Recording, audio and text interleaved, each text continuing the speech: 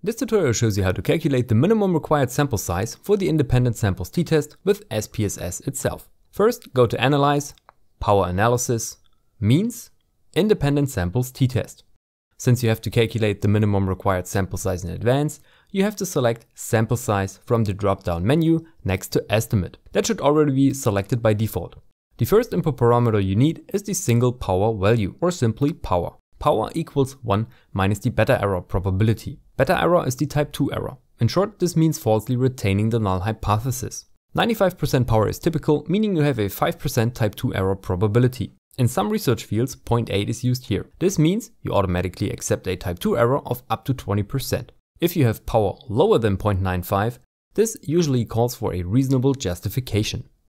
The second input parameter is the group size ratio. If you know in advance that your group sizes will be unequal, you can put the ratio of those in here. If you don't, leave it at the default of 1. The third input parameter is concerned with the effect size you are investigating.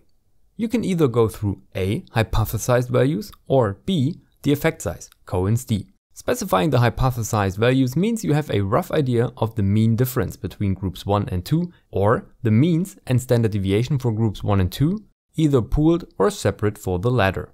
Since it is good practice to report effect sizes in scientific studies, you usually already have an effect size from a comparable or preliminary study, which you can enter here, Cohen's d. Let's assume an effect size of 0.5. If you have no comparable studies, use research field specific thresholds instead. Keep in mind though that you need to be able to justify your assumptions somehow. The fourth input parameter requires you to specify whether you are conducting a one-tailed or two-tailed independent samples t-test. Two-tailed means you cannot tell in advance which of the two groups has the larger mean. If you do, however, select one-tailed. The fifth and final input parameter is the alpha error probability, which is the probability of committing a type 1 error. In short, this is the probability of wrongly rejecting the null hypothesis. 5% is the typical convention. 1% is a bit more restrictive. A value above 5% should be avoided. Finally, hit OK to see the minimum number of observations needed to detect the presumed statistical effect with the predefined type 1 error probability and power. As a rule of thumb, a smaller effect size and a larger power require more observations than the other way around.